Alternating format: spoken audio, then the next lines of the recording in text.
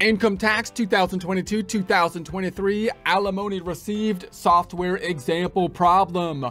Let's do some wealth preservation with some tax preparation. Support accounting instruction by clicking the link below giving you a free month membership to all of the content on our website broken out by category, further broken out by course. Each course then organized in a logical, reasonable fashion, making it much more easy to find what you need than can be done on a YouTube page. We also include added resources such as Excel practice problems, PDF files, and more like QuickBooks backup files when applicable. So once again, click the link below for a free month membership to our website and all the content on it. Here we are in our example form 1040 using Lacerte tax software to populate it. You don't need tax software to follow along, but it's a great tool to run scenarios with. You can also get access to the form 1040 related schedules and forms at the IRS website irs.gov, irs.gov. Our starting point, like normal, is the single filer, Mr. Anderson, no dependents, 100,000 on uh, the W-2 wages, 12,950 on the standard deduction 87,050 taxable income mirroring that on our Excel worksheet 100,000 12,950 87,050 taxable income. Therefore page 2 tax calculated at 14,774 15,000 withholdings gets us down to the 226 we have that mirrored over here as well but our major focus is really on the taxable income calculation as we consider a situation where alimony has been received. So if alimony is received with a receipt recipient end of the alimony payments, then the question is, is it something that has to be included in income or is it exempt from income? The law changed a little bit while back, and this is one of those laws where oftentimes the situation is the case. Even if you think the tax law is a, is a good change, oftentimes you have to kind of draw a line and say, well, before this point in time, we're going to keep it the way it was because people made their decisions based on the last rule. And so then we're going to make the decision different on this time frame going forward. And that's kind of what happened with the alimony. So let's see if I hit the plus button here, we're going to go down to the schedule one. And our question is, do we have to, to include the alimony uh, in income on the schedule 1 which would go in line uh, 2a and then 2b has the date of the original divorce or separation agreement so uh, remember that the general rule used to be before the change was made was there's this big difference between in a divorce or separation. I'm not really divorced. I'm really separate the categorization of child support versus alimony which wasn't always really defined in the actual separation agreement. So then you had to kind of piece it out and say which is which of these payments are child support and alimony because they have different tax consequences. If it was child support, then the person paying wasn't able to get a deduction. The person receiving didn't have to include it in income. So that was a benefit to the person receiving the money. In that case, if it was categorized as alimony, then the person paying did get to have a deduction. They would typically report then the social security number of the recipient, just like the IRS forces basically all recipients, you know, anytime they can to do, just like in an employer-employee situation where they force the employer to tell them the money that you gave them, right? Same kind of scenario there. And then the recipient had to record it as income. So similar kind of thing. The payer gets a benefit, the recipient then uh, has to record the income. So in that case, the alimony was beneficial for the payer. Now, you might think that the law is benefiting either the payer or the payee, but in general, I would think that in a perfect world, when you're doing the separation agreement, if everything, if everybody knew the tax consequences and could take those more complex scenarios into consideration, they would then construct their separation agreement to, to be fair according to the tax law which is more difficult when it was a more complex tax law. So they basically just kind of removed that out and said, I don't care if it's alimony or child support, we're not going to put the the the the deduction or the income related to the payments from one spouse to the other in a separation kind of situation.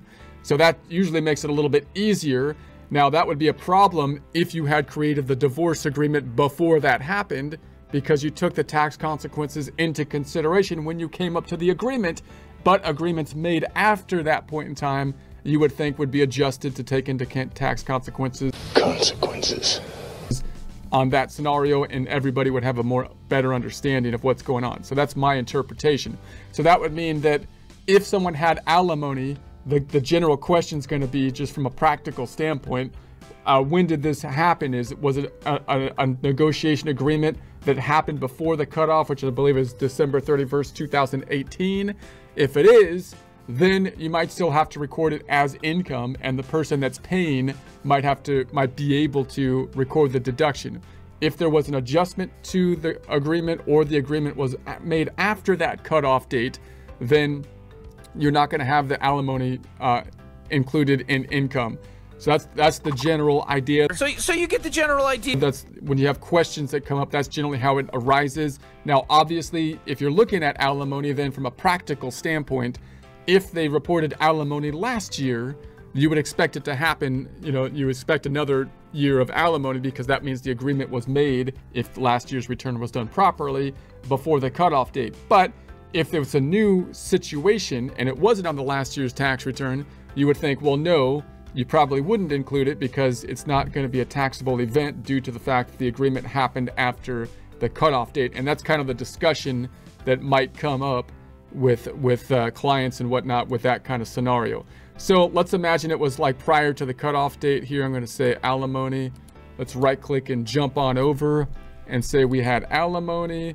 So alimony received, let's say it was whatever, 15,000 date. I'm going to make it before December 31st, 2018. So I'll make it 06, 06, 17 and uh, non-tax. And so I'll keep it there. Alimony received, boom. And if we jump back over, there we have it. The alimony is now being included in income and they have the date of the of the divorce or separation. So if it's a complex situation, you can look at the instructions there. So now obviously that's going to be summed up at the bottom of the schedule. That's going to pull into the form 1040 on the income line. So we've got wages and then we've got this 15,000 other income here to bring us up to the adjusted gross income of the 115,000. I can mirror that on our worksheet. I'm going to say this is something that came from the schedule one so let's, do I have a schedule one here? I had schedule, I don't think I do. Let's add a schedule one. I'm gonna say, put it next to the income. I'm gonna say it's a income schedule one.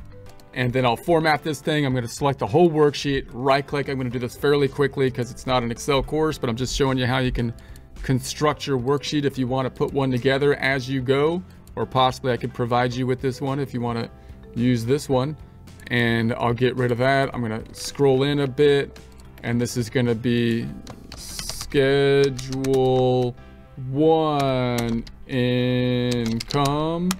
And let's make the whole thing emboldened. And let's make this like black and white black and white for the header. And then this is going to be alimony. Alimony. I, I have no idea how to spell alimony. Alimony. It's the Alamo. The alimony. Okay. Alimony. Alimony. Alimony. Is that what it said? And then I'll leave a couple spaces here for it because, you know, maybe you have a situation where there's they're getting multiple alimonies. They're an alimony professional, alimony professional here that could that's collecting multiple alimonies. I'll say this is alimony one. And let's put this on the, we're gonna say, how much did I say? 15,000, let's total this up. Total alimo, alimony. Oh my goodness, alimony. And let's see if I spell check, let's do a spell check on that. Spell checky. Yeah, you spelled all of them wrong. All of them.